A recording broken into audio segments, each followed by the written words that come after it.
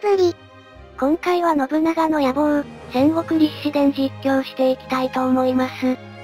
前回は今川家を滅ぼし、三河、遠江、駿河の主城を確保したところまで。ようやく主城を3つ獲得したけど、次の相手が問題。武田家か北条家かどちらも今川家とは比べ物にならない強敵だね。三条で戦うのはきつすぎるよな。そこあたりの対策も考えつつ頑張っていこうかな。で、その対策は同盟。武田家が関心だ。これはいいね。普通より信用が上がりやすいからね。忠助に関係改善を指示して。北条家は普通だからあまり上がらないなそれでも一度同盟を結べば関係は変化するから頑張っていこう。あと西側は、いいかな。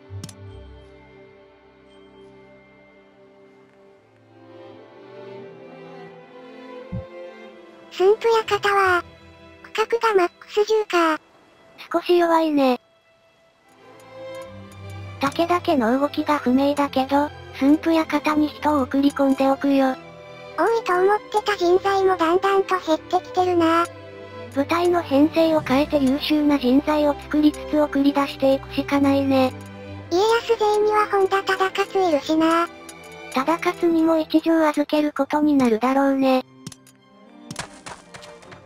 織田家と北畠家が手切れになってる。今回は北畠家への礼参りをする予定だったのに。今川家の捕虜来た。さあ、80以上は何人いるかな？統率部門は岡部っちだけ。あれ、それ以外も85位がいない？まさかの85位が岡部っちだけという悲劇。ああ、そうか85位は思いのほか高いハードルだった。かもねー。でも、今後能力が上がっていくだろうし大丈夫でしょ。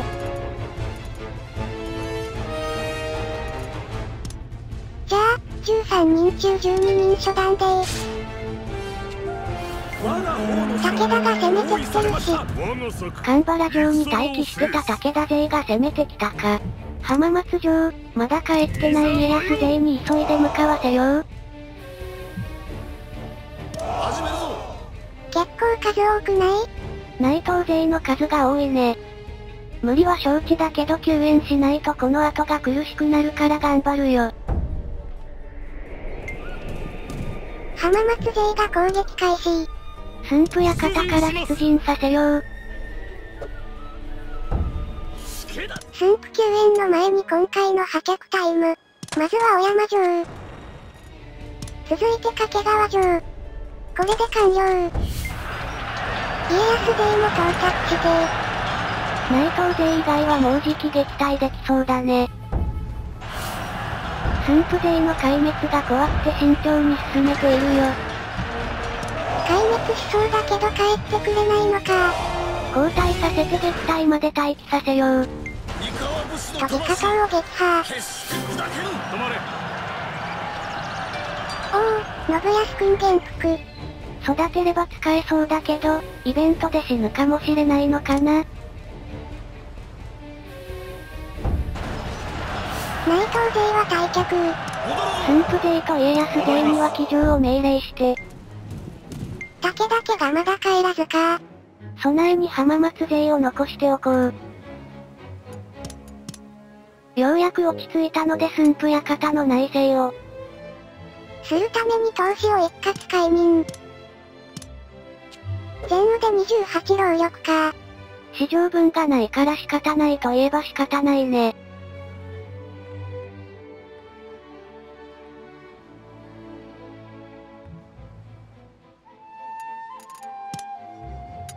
なんて最悪な。10個しかない区画のうち3つが資源とか。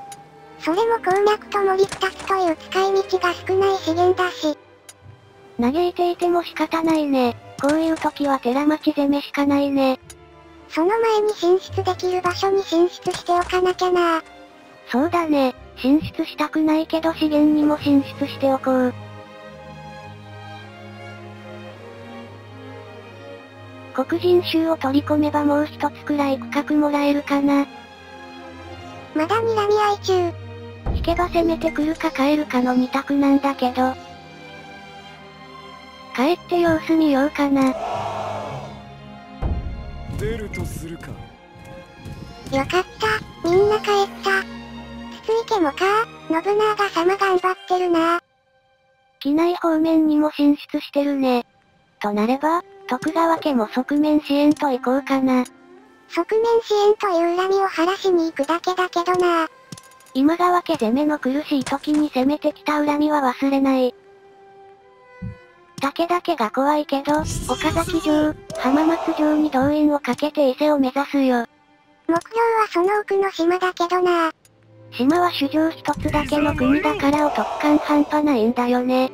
破局だけでも労力とお金使うからな。武田、北条ともに動きなし。島津さんちも頑張ってるな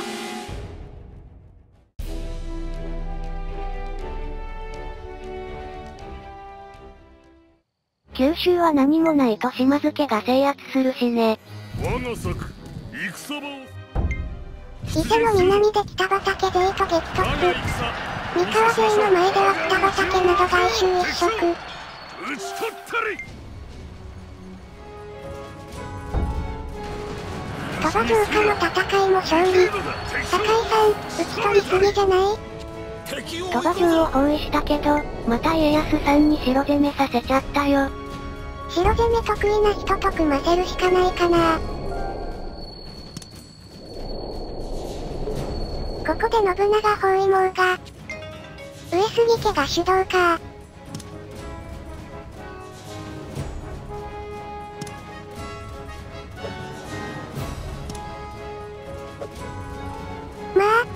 然参加するよな。参加勢力が、半織田が上杉、朝倉、三好、畑野、北畠。本願寺、伊達、足中な。味方が織田、徳川、姉小路だけだね。ほぼほぼ信長様が何とかしてくれるはずだからいいでしょ。半織田の鳥羽城を攻略。狙ってなかったけど、信長様に恩を売れたね。この勢いで桐山御所を攻略して北畠家を滅亡させよう。桐山御所付近は道整備してないのか。これは厳しい戦いになるかな。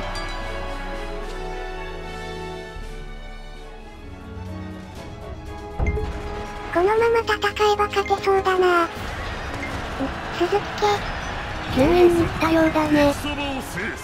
桐山御所攻略中だけど、鳥羽城はどうかな資源多いのかなまだ水源があるからいいけど、それでも3つあるのは多すぎだね。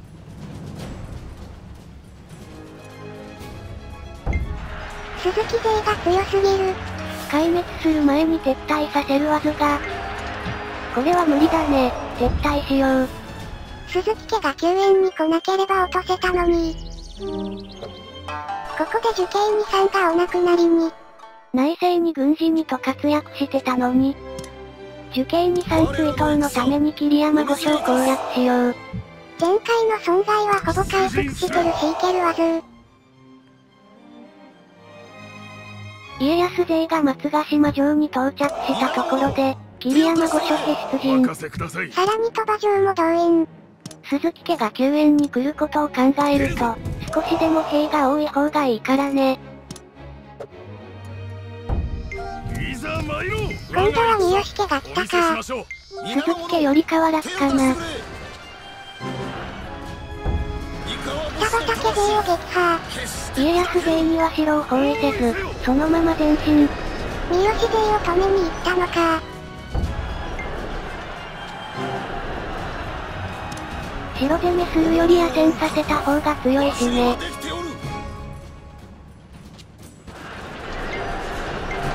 酒井さんが桐山御所攻略。北畠家も滅亡させて、さらに主城も確保。桐山御所を攻略して北畠家を滅亡させたところで今回はここまで。ご視聴ありがとうございました。